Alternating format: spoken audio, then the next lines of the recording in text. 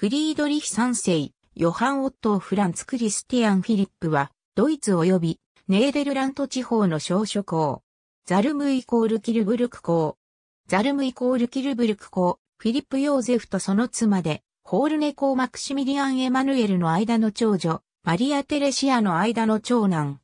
兄弟姉妹と共に、フランス宮廷で育ち、フランス語名のフレデリック・ド・サルムイコール・キルブールで呼ばれた。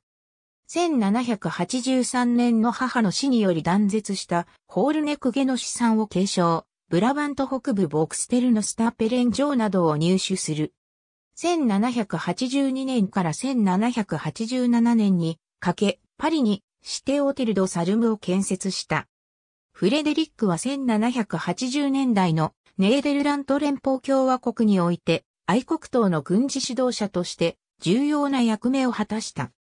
神聖ローマ皇帝ヨーゼフ2世が1781年防壁条約を破棄した時は皇帝との交渉役を担い、続く1784年の夜間戦争に際しては、景気兵8隊、両兵2隊、不評6隊で構成されるライン軍団の司令官に就任した。ホラント州政府は軍団を維持するための給与の支払いを渋るが、愛国党の人々が募金によって軍団に給金を与えた。1787年5月12日、フレデリックは愛国党のためにユトレヒトを占領し、6月28日にはウールデンニフを進めて愛国党の憎悪の的であった総督夫人オラニエ公妃ビルヘルミーネを逮捕した。ビルヘルミーネのアニプロイセン王の派遣したブラウンシュバイク校率いるプロイセンの軍隊がネーデルラントを侵略し始めると、フレデリックは戦わずして軍団を退却させ、愛国党の激しい批判を浴びた。フレデリックは姿をくらましたが、おそらくグルムバッフ派の家領に住む弟モーリッツのもとに身を寄せていたと考えられる。1788年、パリに戻っていたフレデリックは、愛国党の指導的政治家、ピーテル・パウルスのパリ訪問時に面会を望むが、拒否されている。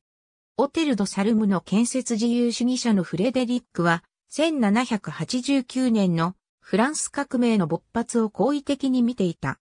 1792年12月29日付の国民公開宛書簡に自らの両方試験を放棄してフランス市民となる旨を表明。1793年3月にはザルムイコールキルブルク公領がフランス軍に併合された。1793年1月のルイ16世、処刑後、王党派はプロバンス伯を中心とするグループと王妃マリー・アントワネットを指導者とみなすグループに分裂したが、フレデリックは後者に属した。彼の属する王党派グループには、カストラーヌ公爵、ブロイ公爵、ディロン伯爵、エナンコーラがおり、彼らはデュムーリエ将軍の支持者だったが、デュムーリエが1793年4月にクーデタ未遂を起こして失敗すると、その共犯者として追われる身となった。フレデリックは、ビトーイコールルイコールフランソワに潜伏していたところを捕らえられ、その後は当局の監視下で生活していた。1794年2月13日、反革命派の容疑で逮捕、投獄される。7月4日、カルム監獄の収容者45人が当局によるでっち上げの陰謀を計画したと告発された。その中にはフレデリック、そして妹、アメリーの愛人だったアレクサンドル・ド・ボアルネ子爵が含まれていた。二人は7月23日にギロチン刑に処された。テルミドールのクーデターの4日前のことだった。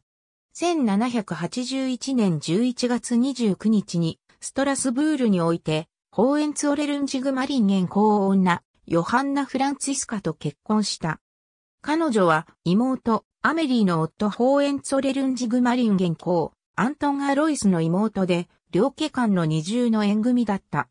妻との間には4人の子があった。ありがとうございます。